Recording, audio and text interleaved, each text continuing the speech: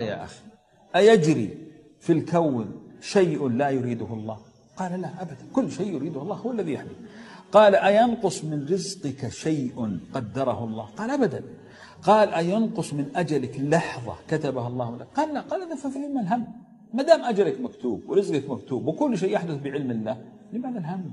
لا تحمل نفسك الهم. الهم ترى مصيبة يا إخوان. الهم هذا جندي يعذب الله به العباد. مما يروى عن علي بن أبي طالب. أنه لما سئل عن أعظم الخلق قال أعظم الخلق الجبال. قال لما خلق الله الجبال؟ قالت الملائكة يا رب ما أعظم هذا المخلوقات؟ الملائكة كانت تسأل الله عز وجل ما هو أعظم الخلق؟ فخلق الله عز وجل الجبال.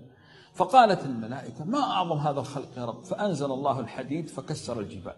فقالوا الحديد هذا أعظم خلق الله عز وجل. فخلق الله النار فذوبت الحديد وصهرته. فقالوا النار أعظم خلق الله. فأنزل الله الماء والمطر فإذا به يطفئ النار. قالوا الماء أعظم خلق الله عز وجل. فأرسل الله الريح فبعثرت الرياح بعثرت المياه والسحاب وبخرتها. فقالوا إذا الريح أقوى خلق الله عز وجل. فخلق الله الإنسان فاتقى الريح وتدفى ووضع الحواجز فسلمه الله من الريح. قالوا إذا الإنسان هذا أعظم خلق الله. فسلط الله عليه النوم. فكان النوم يهده ولو كان أقوى الناس. فقالوا إذا النوم هو أعظم خلق الله. فخلق الله الهم فطير النوم.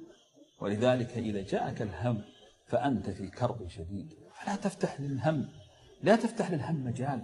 إذا جاءتك أي مصيبة إذا جاءك أي أمر يهمك اجلس مع نفسك.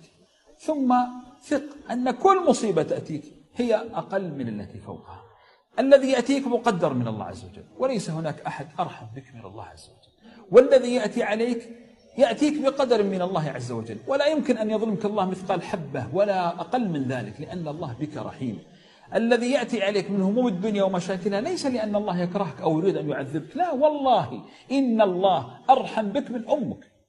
أمك التي تحبك والله لا يمكن أن تعادل رحمة الله فيك. فلا تهتم يا أخي. عش في حياتك.